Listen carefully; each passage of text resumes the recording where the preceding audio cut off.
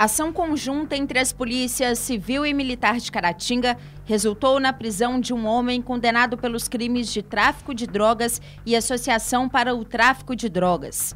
A condenação do indivíduo é de 11 anos, 4 meses e 24 dias, sendo esta expedida pelo Poder Judiciário do Estado do Rio de Janeiro. O homem gozava do benefício de saída temporária e não retornou ao presídio de Bangu, estando foragido desde o mês de setembro de 2015, quando foi expedido o mandado de recaptura. Após a Polícia Civil em Caratinga ser comunicada que o condenado estaria se escondendo na cidade de Santa Rita de Minas, foi solicitado mandado de busca e apreensão para os possíveis locais onde ele estaria se escondendo tendo sido deflagrada a operação conjunta para o cumprimento das buscas.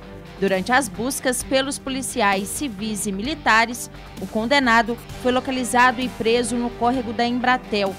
Depois de cumpridas as formalidades legais, o mesmo foi encaminhado ao sistema prisional.